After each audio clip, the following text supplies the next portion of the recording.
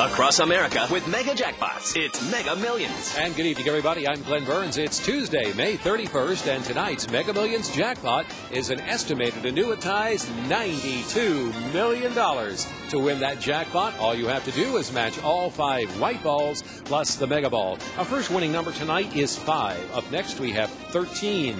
That's followed by 38. Then we have the number 22. Up next is 37. Now for the Mega Ball. Here's tonight's Mega Ball winning number. It's 11. Our winning numbers again are 5, 13, 38, 22, 37, and the Mega Ball is 11. If nobody matches all six numbers, Friday's Jack.